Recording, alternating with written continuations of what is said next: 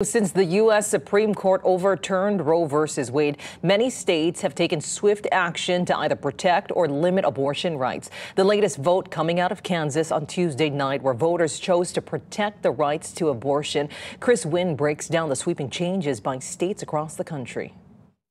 By an overwhelming margin, voters in Kansas rejected a ballot measure that would have allowed lawmakers to ban abortion in the state. From the moment that lawmakers put this on the primary ballot, we knew it was going to be an uphill fight, but we did not despair. We put in the work, and these numbers speak for themselves. In the aftermath of the Supreme Court decision overturning Roe v. Wade, Republican controlled state legislatures across the country have taken swift action to limit or outlaw the procedure. Actually believes in the Bible, knows that, you know, this is something that goes against everything. However, abortion rights are broadly popular across party lines. The most recent CNN poll found that 63% of Americans disapproved of the Supreme Court's decision. I just think health care is a fundamental right, uh, not just for me, but for any person in this country.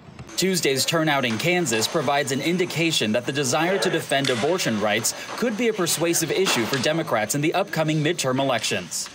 The voters of Kansas sent a powerful signal that this fall the American people will vote to preserve and protect the right and refuse to let them be ripped away by politicians.